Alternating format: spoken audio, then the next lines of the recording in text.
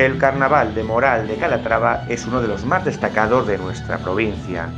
Este sábado 25 de febrero celebrará uno de sus platos fuertes, como es el gran desfile provincial carnavalesco musical, con la participación de peñas locales junto con grupos tan importantes a nivel nacional como lo son el Burleta y Arúspices.